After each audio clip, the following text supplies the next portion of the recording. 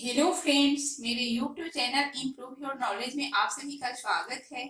Friends आज मैं एक नई रेसिपी एक कतली लेकर आई हूँ, जिसे बनाना बहुत ही आसान है और खाने में बहुत ही टेस्टी लगता है। इसे आप कोई भी पार्टी हो, या टिफ़िन में देना हो, या कोई गेस्ट आ जाए तो इसे बना के दे सकते हैं। ये एकदम नई रेसिपी है। तो फ्रेंड्स इस रेसिपी को आप भी ज़रूर ट्राई कीजिए। और मेरे चैनल को लाइक कीजिए सब्सक्राइब कीजिए शेयर कीजिए और कमेंट करना मत भूलिए। तो चलिए हम इसे बनाना शुरू करते हैं। एक कतली बनाने के लिए सबसे पहले हमने गैस पे कढ़ाई को गर्म कर लिया है। अब हम इसमें डालेंगे एक बड़ा चम्मच तेल। तो आप यहाँ पे कोई भी कुकिंग ऑयल ले सकते हैं। हम यहाँ पे मस्टर्ड में बना रहे हैं, क्योंकि ठंडी का सीज़न हो और मस्टर्ड ऑयल हो तो शरीर के लिए भी बहुत फ़ायदेमंद होता है और एक कतली भी बहुत टेस्टी बनती है। तेल को हम अच्छे से गरम करेंगे। तेल अच्छे से गरम हो चुका है। अब हम यहाँ डालेंगे एक चम्मच जीरा। जीरा को हम तेल में अच्छे से चटकने देंगे।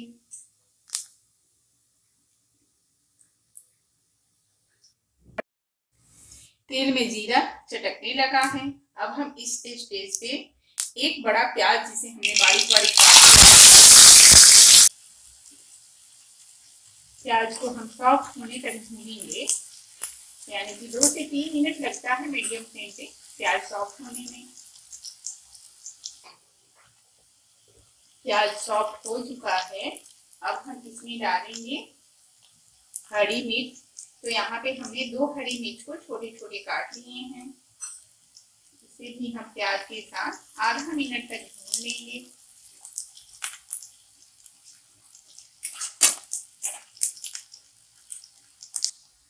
मिर्च भी हमने भून लिया। अब यहाँ पे हमने दो मीडियम साइज़ टमाटर को छोटे छोटे पीसेस में काट लिया है।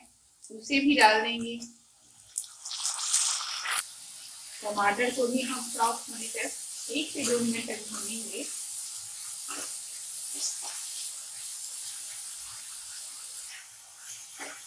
टमाटर हल्का सा सॉफ्ट हो चुका है। अब यहाँ पे हम मसाला ऐड कर लेंगे। तो सबसे पहले हम इसमें डालेंगे। वन फोर्थ चम्मच हल्दी।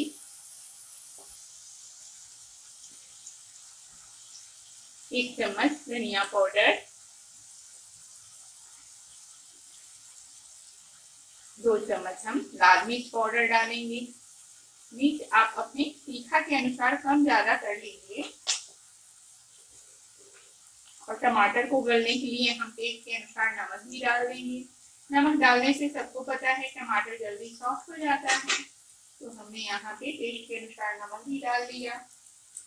मसाले को हम टमाटर, नमक के साथ अच्छे से मिक्स करके भूनेंगे।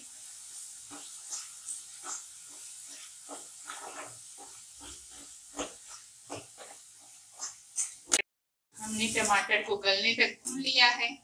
आप देख सकते हैं, अच्छे से अपनी प्याज, टमाटर भून चुकी है, यानी कि गल गई है। अब यहाँ पे हम डालेंगे एक चम्मच गरम मसाला। और साथ में हम डालेंगे फ्रेश धनिया पत्ता, जिसे हमने बारीक बारीक काट लिया है। इसे हम अच्छे से मिक्स कर लेंगे।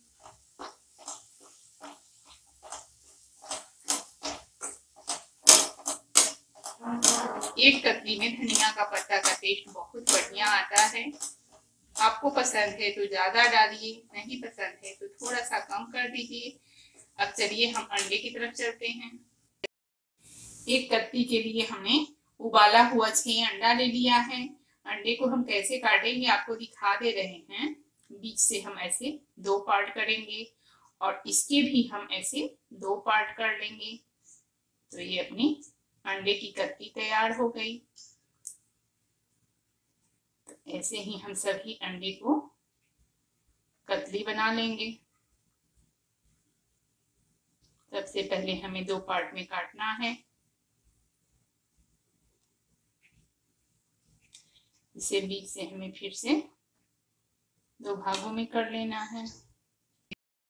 तो हमने सभी एक को कतली के रूप में काट लिया है। अब चलिए हम इसे ग्रेवी में ऐड करते हैं। तो यहाँ पे अपनी अच्छे से मसाले फ्राई हो चुके हैं।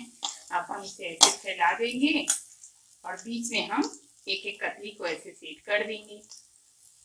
इसे सावधानी से डालना होता है। हमने सभी एक कतली को डाल दिया है। हमने सभी एक कतली को डाल दिया है।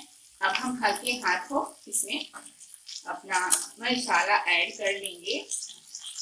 इसे सावधानी से हम ऐसे धीरे धीरे ऐड कर लेंगे। तो हम हल्के हाथों धीरे धीरे मसाला मिक्स कर लेंगे।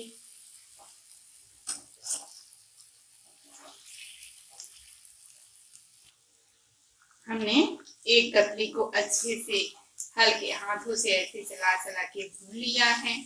आप देख सकते हैं। कितनी बढ़िया मसाले के साथ कोटिंग हो गई है। एक कतली की तो यहाँ पे अपनी एक कतली बनकर तैयार है। अब हम गैस के फ्लेम को ऑफ़ कर लेंगे। एक कतली बनकर तैयार है तो आपने देख लिया इसे बनाना कितना आसान है और खाने में बहुत ही टेस्टी लगता है। तो फ्रेंड्स इस रेसिपी को आप भी ज़रूर ट्राई कीजिए। और मेरे चैनल को लाइक कीजिए, सब्सक्राइब कीजिए, शेयर कीजिए और कमेंट करना मत भूलिए, जिससे हमें पता चल सके कि आप लोगों को कैसी रेसिपी पसंद आ रही है।